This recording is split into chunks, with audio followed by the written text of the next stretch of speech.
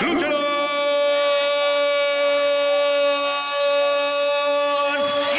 contra cabellera. Bienvenidos sean todos los amantes de la lucha libre a su canal, Máscara contra Cabellera. El día de hoy les hablaré de un sacerdote que colgó los hábitos para convertirse en luchador. Él es Fray Tormenta.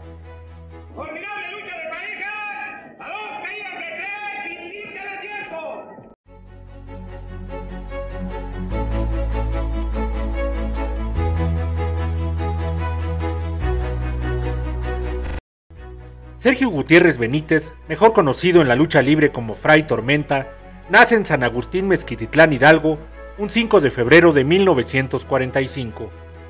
Aunque Sergio nació en Hidalgo, fue criado en la Ciudad de México.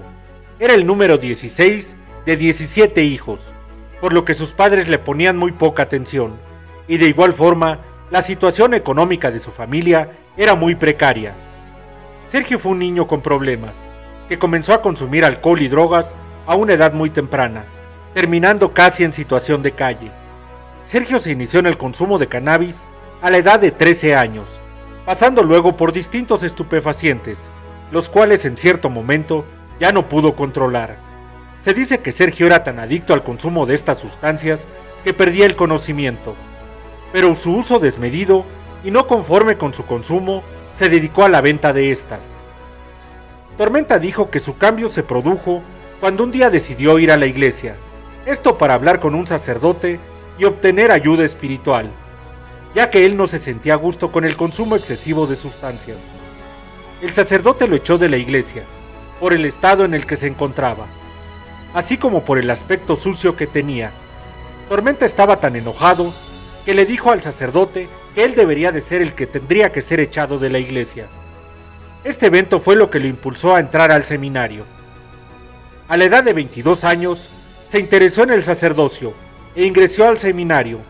Su formación teológica la llevó a Roma y España. Posteriormente regresó a México en 1970 y se estableció en Veracruz, donde se dedicó a evangelizar a prostitutas, drogadictos y delincuentes. Posteriormente, fue un profesor de filosofía e historia en la Universidad Pontificia de México.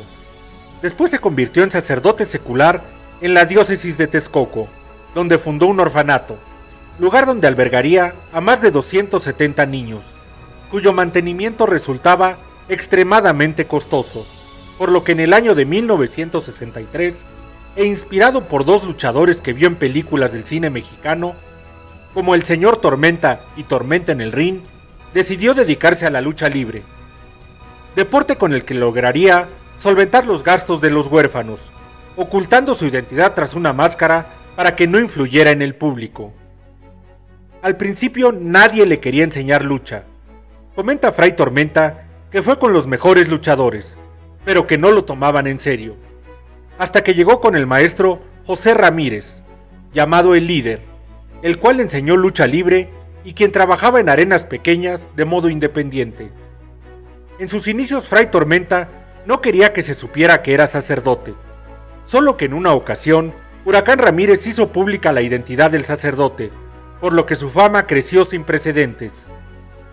Actualmente, aún se le ve utilizar la máscara mientras realiza sus actividades eclesiásticas.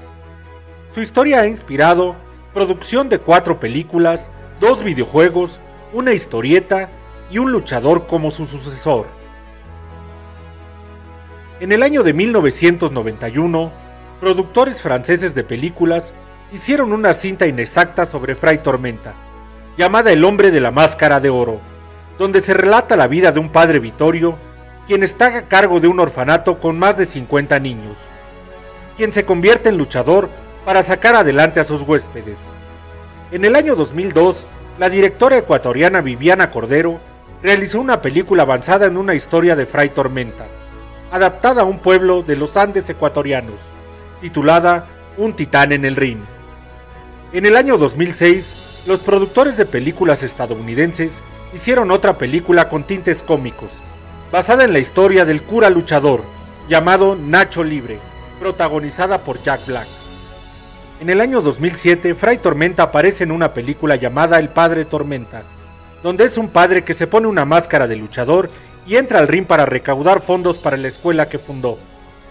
Actualmente, Fray Tormenta es parte de la historieta mexicana El Místico, príncipe de plata y oro. Otro gran luchador que salió de este orfanato fue la estrella consagrada El Místico, el cual tuvo varios cambios, hasta llamarse actualmente Carístico.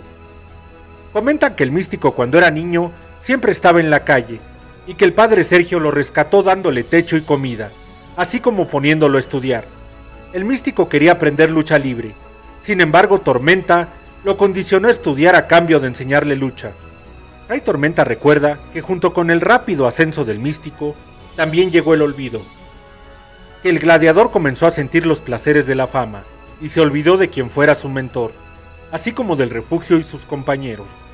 Fray Tormenta comenta que al contrario de lo que la gente piensa, el místico no ha mantenido el orfanato, ya que desde que se dejó del refugio, nunca ha aportado nada para el orfanato, así como para los niños que ahí se albergan. En la vida real, Fray Tormenta está retirado de la lucha libre profesional desde el 3 de julio del 2011. Todavía trabaja en el orfanato como sacerdote y ha inspirado a uno de sus chicos para que la leyenda de Fray Tormenta no muera. El nuevo luchador enmascarado, del cual se desconoce su nombre, se ha llamado a sí mismo Fray Tormenta Jr. Sin más que agregar, los invito a que se suscriban, le den like y me envíen sus comentarios los cuales son muy importantes y enriquecedores para mí. Y me despido de ustedes con un... Hasta pronto.